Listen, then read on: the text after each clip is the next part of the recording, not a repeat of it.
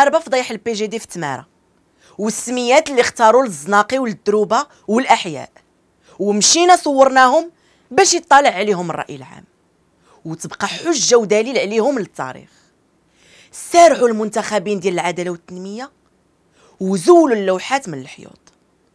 خايفين من غضبة الشعب. شعبنا ما خاصو حقرة. وسكان تمارا ما يستحقوش هاد المعاملة.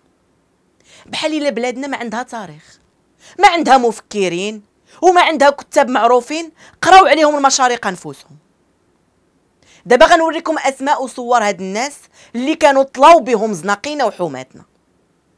فيهم واحد كويتي سميتو خالد السلطان. الإنجاز الوحيد اللي معروف به أنه برلماني كويتي.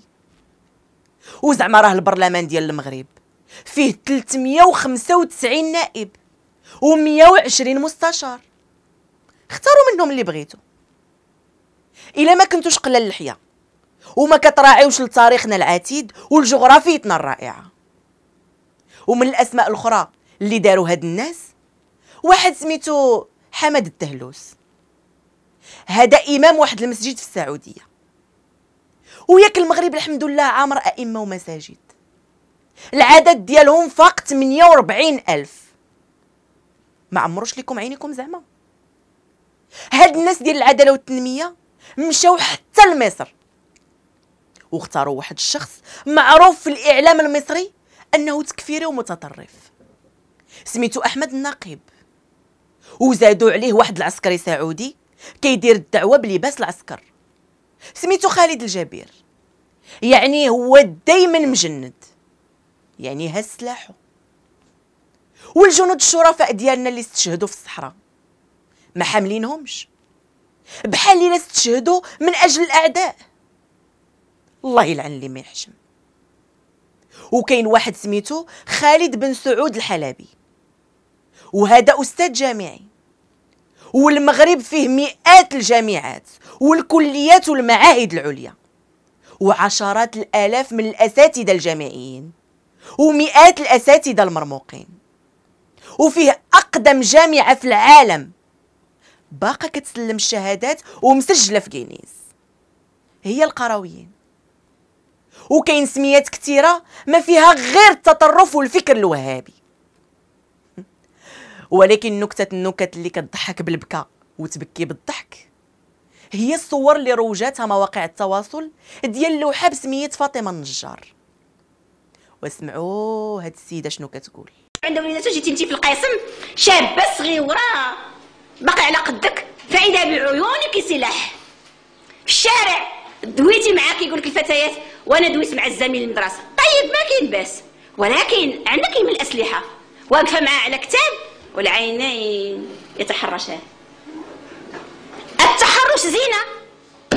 التحرش قدوم منك.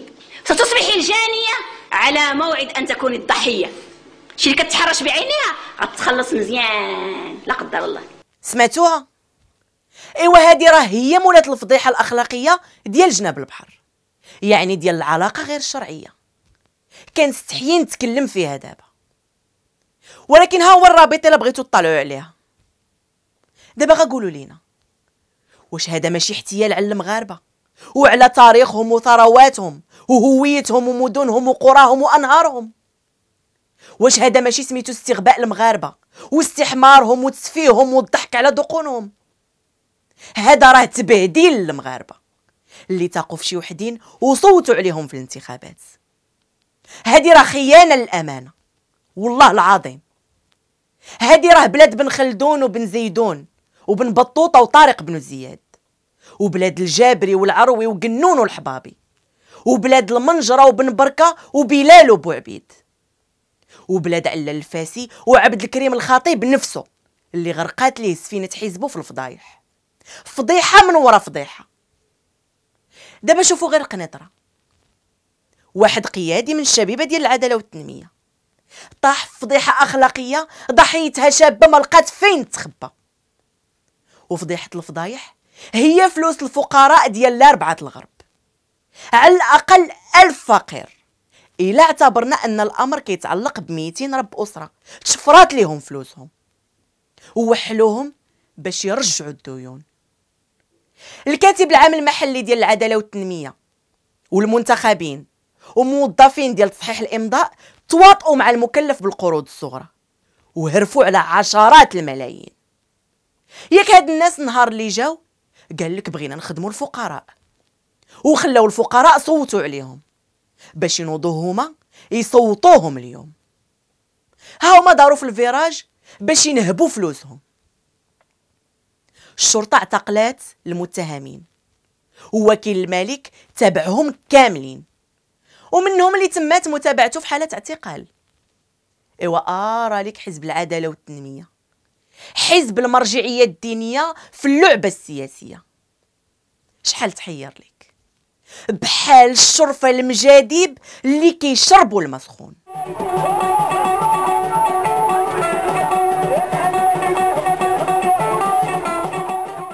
جاب أكثر من عشرين محامي باش يوقفوا مع الأمين المحلي ديالو. حتى طلقوه ليه باش يتابع في حالة صراح. إيوا الباقي ديال الموظفين؟ قال لك لا يقلب. وكلها يتهز من كراعه. إلى زدنا هاد الحريرة. على حريرة وزارة الشباب والرياضة. اللي الحزب ولا فيها كيتصرف في بلاصة الوزير عثمان الفردوس. ويدير اللي بغا حيد هذا وخلي الآخر. باش نكونوا على قد كلمتنا. ويبقى العثماني وحزبه على خاطرهم. خاصنا نتجندوا سيادي. باش نعتقوا بلادنا ونحميو نفسنا. وديرها غازوينه Thank you.